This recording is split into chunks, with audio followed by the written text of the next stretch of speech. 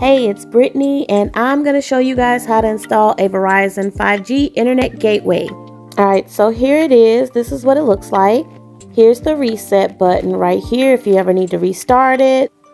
Here's where all the outlets are. You have two ethernet ports and one power outlet. This is an ethernet cable. It kind of looks like a big phone cord. It's the same on both ends. One end goes into the port and the other end goes into a device that you would want to use a hardwired connection for. We're not going to use that for this video because we want everything to be wireless, but I wanted to show you what it is and where it goes. Here's your power cable, and this is what you plug in right here to power on the box.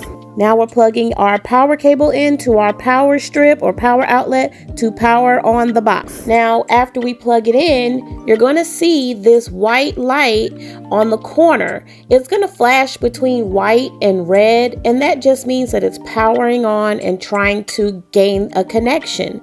This whole process takes maybe about five minutes, so we'll give it a little bit of time to boot up. A few moments later.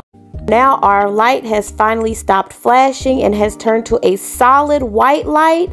It is connected and ready to go. So now we're going to flip the box to the bottom where all the cables were connected. And you're going to locate your Wi-Fi name and your Wi-Fi password. Now we're going to use that information to pop it into the device that we want to connect to the internet. I'm using my Samsung Galaxy Note 20. So from here, we're going to long press the Wi-Fi button so that we can go to our available Wi-Fi networks. The network we're looking for is our newly added Verizon network. We're going to tap this network so that we can now enter our password to connect to it. Now here is where we type in our password. It's dotted out for your security, but if you want to see the letters that you're typing in, you just want to tap that eyeball with the slash through it, and that'll uncover the letters as you type.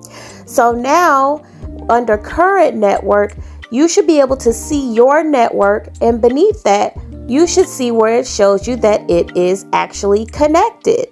You'll also see on the upper right hand corner of your screen that you are in fact connected to your Wi-Fi. Now give yourself a pat on the back because you have successfully installed your internet. Yay!